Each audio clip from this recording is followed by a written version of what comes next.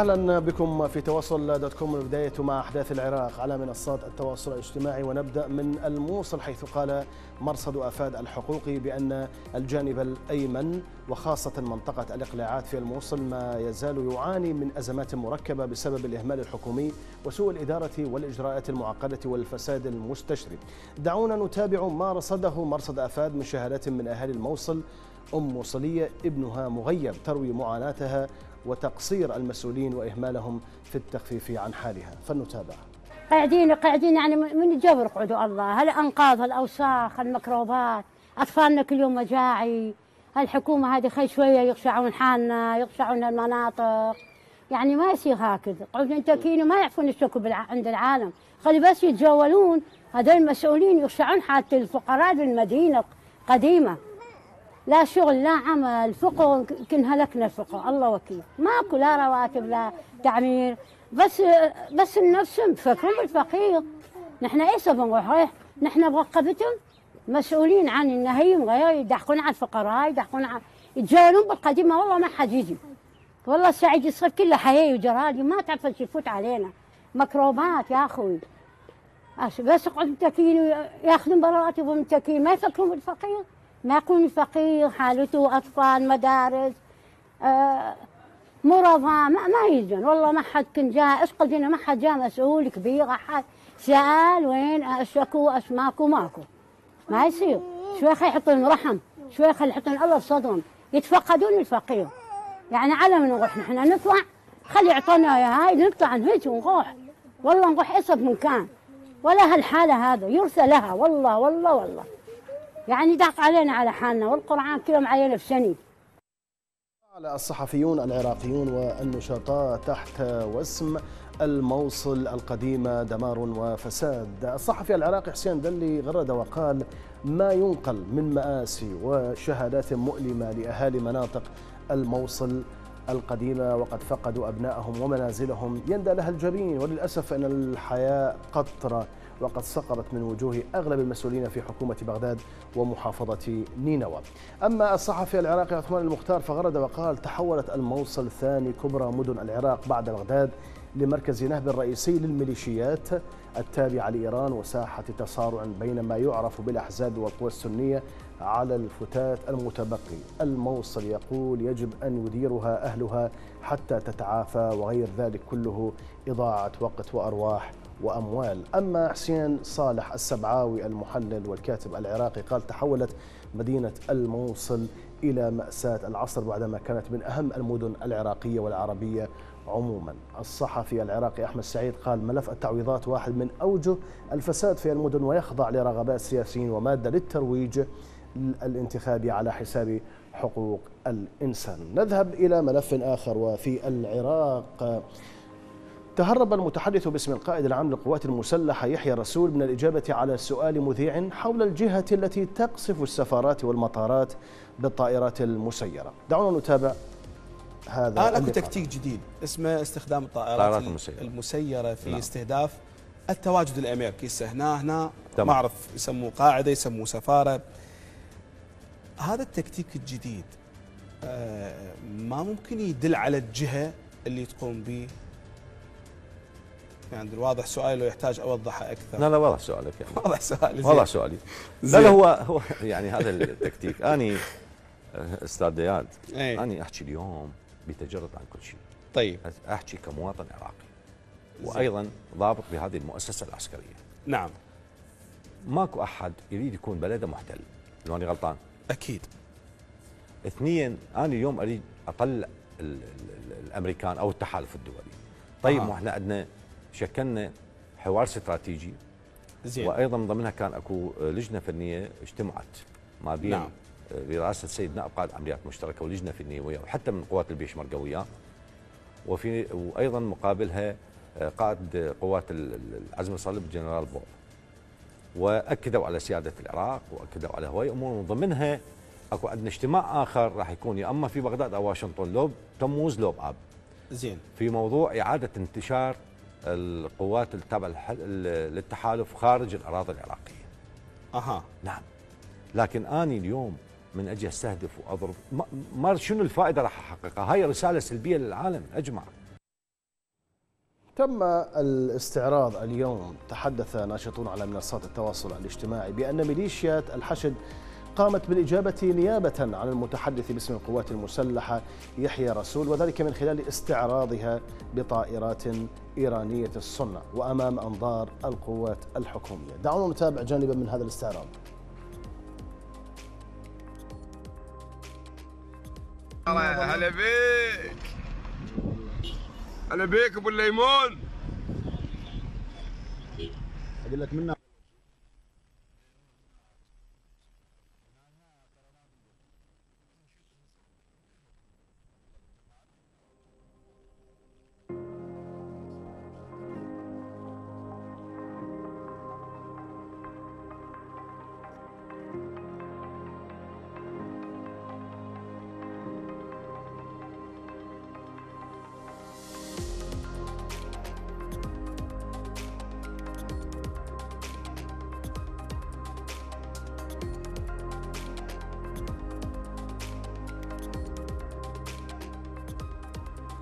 تفاعل الجمهور العراقي حول هذا الاستعراض آه، غرد وعلق العراقيون على منصات التواصل الاجتماعي الاجتماعي. ديفيد قال أمريكا لها مصلحة ببقاء وتمدد هذه الميليشيات الإرهابية لو أرادت القضاء. عليها لحدث هذا في عدة أيام. أما أبو غيث فقال حتى تبقى إيران في مأمن والمعارك خارج حدودها انظر إلى سوريا واليمن والعراق. إيران لا تحارب أمريكا مباشرة ولا أمريكا تحارب إيران والصراعات مستمرة حتى يحكم الله. أما علي فقال أسلحة إيرانية يعني استعراض إيراني يقول مبروك للعراق. وأبو محمد قال بلد ضايع بدون سيادة ولا قانون صاير غابة عايشين على القدرة. نذهب إلى ملف الواقع الصحي المتدهور في العراق حيث نشر عدة عراقيون على منصات التواصل الاجتماعي مقاطع حول تدهور الواقع الصحي في العراق. دعونا نبدأ من مستشفى اليرموك في العاصمة بغداد وهو يعني مقطع يبين اضطرار ذو المرضى في مستشفى اليرموك إلى نقل مرضاهم من طابق إلى طابق على الأكتاف بعد تعطل مصاعد المستشفى. فلنتابع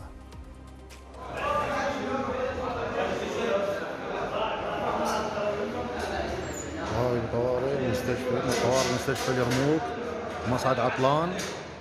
وهاي الناس المكاسير والناس المضروبة والناس اللي عندها حوادث يشيلونها شول ينزلونها طابق ويصعدونها طابق.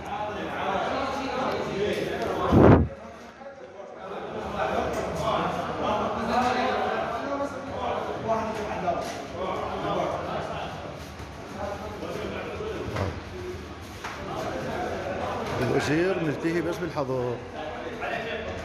نعم.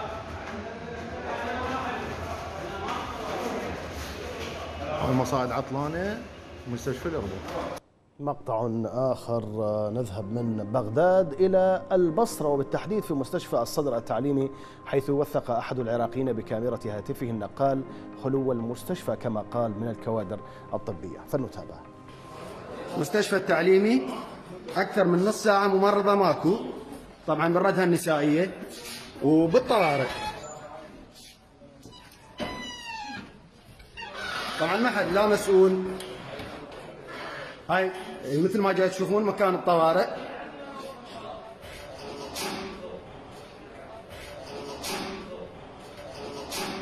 نعم.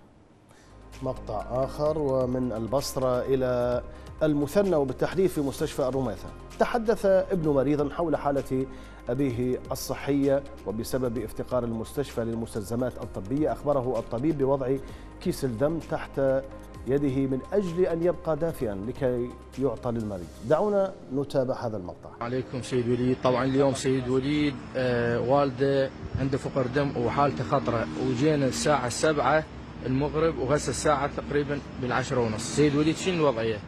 والله الوضعية طبعا أخذنا لنا ساعة نفتر على الطبلة والدخولية وتحرمص الدكاترة نعم. وهسه رهمنا هسه الدم تعال جيب لي دفي ما عندهم اجهزة دف الدم. أقول له الدكتور إيش؟ ليش ما تخلي لنا الدم؟ يقول لي لازم يدفى، شلون يدفى؟ ما عندنا اجهزة اطلع برا وخليه تحت باطك. ماكو يعني شي حكي عنده عن تحت باطك شنو يعني؟ حالته خطره كلش شلون يخليه تحت باطه شلون يخليه له؟ شكيب يجيب والله هو؟ آه، فرساله هاي توجهها لمن سيد والله وليد لا لصحه احمد أحمد منفو محافظنا يا أخوي إيه أنت مو تقول إحنا المحافظة وولدنا وهاي ما مقصرين وياهم شوف مستشفى رميته بروح والدين تفاعل الجمهور العراقي حول استمرار تدهور القطاع الصحي في العراق. نقرأ نغم علقت وقالت كل المستشفيات بالعراق تقول هذا وضعها. أما زينب فقالت الحال من سيء إلى أسوأ. زينو قال خليه تحت آه، قال خليه تحت أباطك ما آه، منطق منطق آه، يعني نطاك أحدث تقنية. شو يسوي؟ تقول الرجال والله عقول الله يعينه على اللي راح نشوفه. أما حيدر فتقول وزارة الصحة وبيد الكتلة الأكبر. شو تريده؟ مثلا يتساءل أما آه، مياسه فقالت أتعس الوزارات هي الصحة مهملة كليا. نذهب إلى ملف آخر وهو ملف تلوث المياه في العراق حيث تتوالى المقاطع على منصات التواصل الاجتماعي التي توثق انخفاض مناسيب الأنهر في العراق وتلوثها ومنها نهر دجلة حيث صور أحد المواطنين العراقيين في العاصمة بغداد ومن على جسر المعظم مقابل مدينة الطب تلوث نهر دجلة. بسبب ما قال بأنها محرقة مدينة الطب. دعونا نتابع هذا المقطع. من جسر آه، باب المعظم مدينة الطيب هذا نهر دجلة. دجلة الخالد دجلة التي تغنى بها الشعراء. من علي بن الجهم إلى الجواهري العظيم. لاحظ هذا الماء باللون الماء انحدره هذا ماء النهر. لاحظ هذا اللون.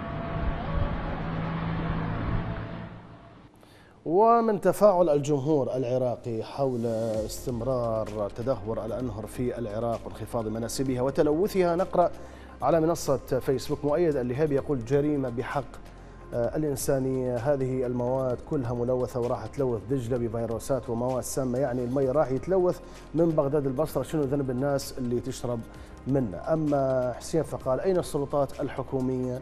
عن هذا الوضع المزري. أين وزارة الصحة عن هذه عن هذا؟ يقول دولة تايهة بلا قانون بلا حساب. الله يكون بعون المواطن. أما سيف علق وقال لا حول ولا قوة إلا بالله العلي العظيم. وأفسد وأتعس وأفشل الحكومة يقول. أما لؤي فيقول والله هتلية هاي مصيبة وطاحت على روسنا. نذهب إلى أنت ترى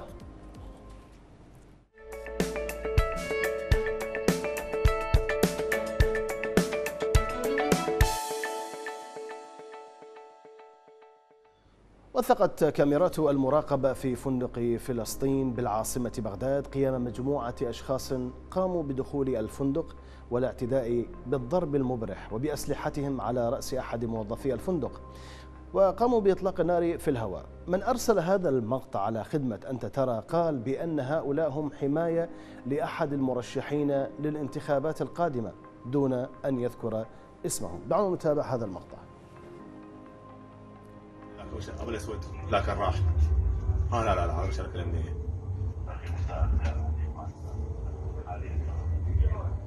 ذول ولد ضباط اي اي ذول ها يعني سلموا سلاحهم بالبدايه ذول ضباط هاي وهم طبوا بدون سلاح ها هذا السلاح هذا سلاح لا كلهم شايلين سلاح هو هذا طرد الملك إيه. هذاك جاي يهدد هناك هذا جاي يصيح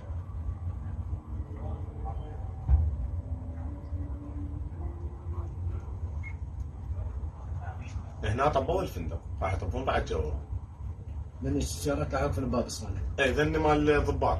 لو ذني تابع. السود التهوات السود تابع لهم. راح تلقوا باب الصالح. طلعوا. هنا تعدوا على بعض. فرغ المسدس طلع شفته؟ بعيد كل شيء.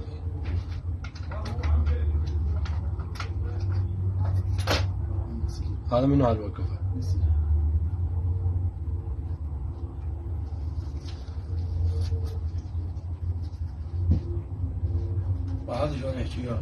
وانت هذا بعد أول أي- واحد. هذا بعد أي حد. هو هذا ابن المدير مدير الشركة أشوف المس- الشواجير وخليهم ظهره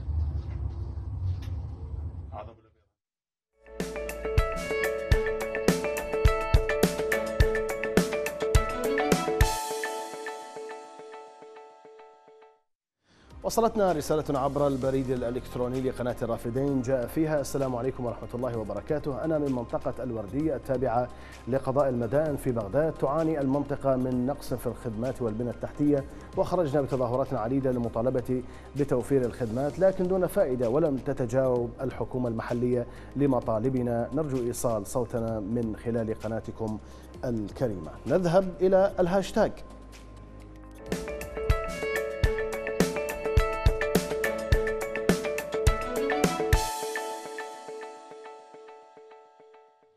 في اليوم العالمي لمكافحة عمل الأطفال تفاعل ناشطون عرب على منصة تويتر على وسم اليوم العالمي لمكافحة عمل الأطفال. دعونا نتابع بعضا من هذه التغريدات. دكتورة لبنى قالت عمالة الأطفال جريمة يدفع ثمنها الطفل والمجتمع كله فالأطفال هم مستقبل الشعوب وإن لم نحافظ على حقوقهم الإنسانية الأساسية وأهمها التعليم فسنخسر مستقبل مجتمع بأكمله.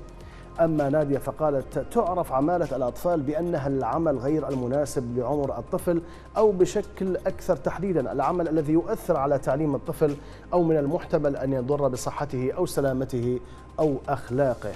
دكتور تقي قال عمل الأطفال ظاهرة عالمية حيث يزاول ملايين الأطفال أعمالا تحد من رفاهيتهم وسلامتهم وصحتهم وتحو- وتحول دون تعلمهم وتقدمهم وضمان سبل كسب عيشهم في المستقبل. ضعوا حدا لعمالة الأطفال. دكتور نصر الحريري قال واليوم كل العالم يحتفل باليوم العالمي لمكافحة عمل الأطفال ونحن في سوريا نعمل ونناشد العالم لإيقاف قتل الأطفال من قبل نظام الأسد ورعاته إيران وروسيا ولإيقاف قتل أهالي الأطفال ولإيقاف تدمير مدارس الأطفال. جعل هؤلاء المجرمون لسوريا أولويات مختلفة عن كل العالم. نذهب الآن إلى القصص المنوعة.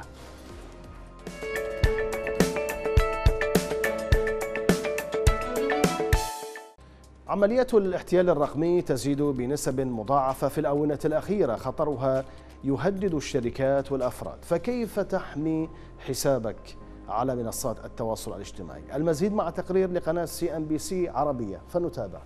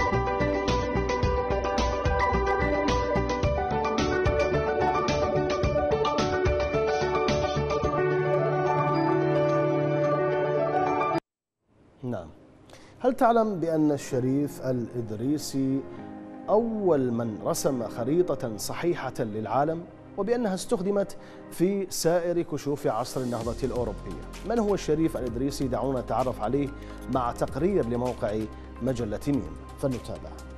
الإدريسي القرشي.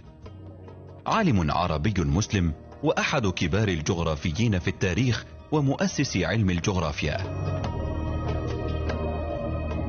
وأول من رسم خريطة صحيحة للعالم سماها لوحة ترسيم وحدد فيها اتجاهات الأنهار والبحيرات والمرتفعات وضمنها معلومات عن المدن الرئيسية وحدود الدول. ولد أبو عبد الله محمد الإدريسي الهاشمي القرشي في مدينة سبتة في المغرب الأقصى عام 1100 من الميلاد. تعلم في البيلق ودرس الفلسفة والطب في قرطبة. كما كان له اهتمام بالتاريخ والأدب وعلم النبات والفلك.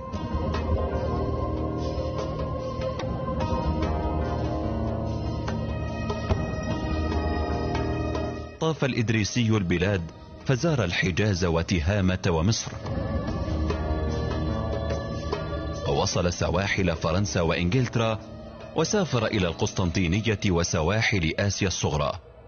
ثم اختار الانتقال إلى صقلية بعد سقوط الدولة الإسلامية وفيها تفتقت مواهبه العلمية. وبأمر من الملك النورماني روجر الثاني رسم الإدريسي خريطة للعالم على دائرة من الفضة منقوش عليها صورة الأقاليم السبعة. أطلق عليها اسم لوح الترسيم واستخدم فيها خطوط العرض أو الخطوط الأفقية وأعاد تدقيقها لشرح اختلاف الفصول بين الدول. وإلى هنا نصل إلى نهاية هذه الحلقة أعزائي المشاهدين شكرا لكم وإلى اللقاء بإذن الله.